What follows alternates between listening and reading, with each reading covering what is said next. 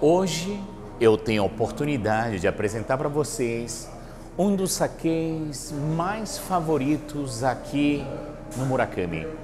É um Shiroko Miyamanishi.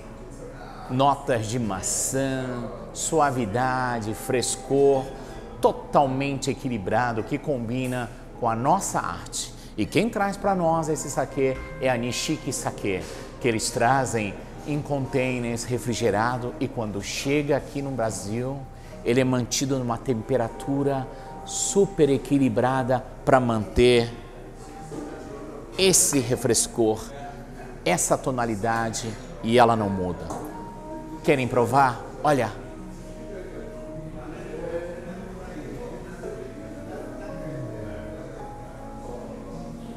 Único. Shiroko Miyamanishi. Venha.